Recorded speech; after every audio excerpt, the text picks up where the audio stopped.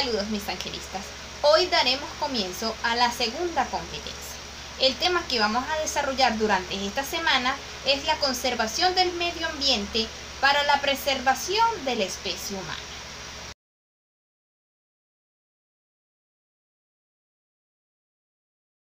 Para la conservación del ambiente debemos tener en cuenta que existen problemas ambientales. Estos son efectos nocivos de la actividad humana en el entorno biofísico, que provoca un desequilibrio en un ambiente dado, afectándolo negativamente. Los problemas ambientales prácticamente afectan a la totalidad de los elementos de la naturaleza, causando varios tipos de contaminación entre ellos la contaminación atmosférica, del suelo, agua, acústica, entre otros. Hoy les hablaré sobre la contaminación atmosférica y del suelo. En lo que se refiere a la contaminación atmosférica, es la presencia que existe en el aire de pequeñas partículas o productos secundarios gaseosos que pueden implicar riesgo, daño o molestia para las personas, plantas y animales que se encuentran expuestas a dicho ambiente. La contaminación atmosférica es causada por las siguientes sustancias. Dióxido de azufre, dióxido de carbono, monóxido de carbono, óxidos nitrógenos, fluoruros, entre otros.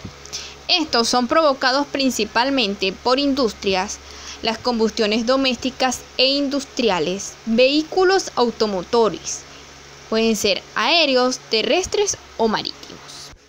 Estas sustancias contaminantes producen una serie de consecuencias. En el ser humano, afecciones respiratorias, disnea, asma, bronquitis, efisema pulmonar y cáncer en algunos casos. En los animales también puede causar estas afecciones respiratorias. En las plantas produce clorosis y necrosis de las hojas. Y en el ambiente causa el fenómeno conocido como smog, que es niebla o humo, y el calentamiento atmosférico. Otro punto es la contaminación del suelo. Se habla de contaminación del suelo cuando se introducen sustancias o elementos de tipo sólido, líquido o gaseoso. Los principales causantes de la contaminación del suelo son los plásticos arrojados sin control, vertidos incontrolados de materia orgánica proveniente de depuradoras o actividades agropecuarias, aplicación de plaguicidas, insecticidas, herbicidas y fungicidas, sustancias radioactivas provenientes de ensayos nucleares o de instalaciones industriales que contaminan el suelo natural o artificial. Estos contaminantes afectan todos los seres vivos que dependen del equilibrio orgánico e inorgánico del suelo, ya que del mismo proceden las plantas que inician la cadena alimenticia.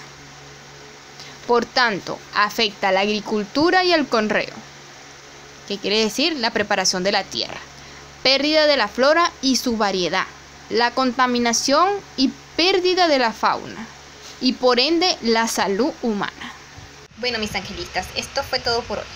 Recuerden que es muy importante leer para seguir reforzando sus conocimientos, al igual que leer bien antes de responder las preguntas. Nos vemos en el próximo tema.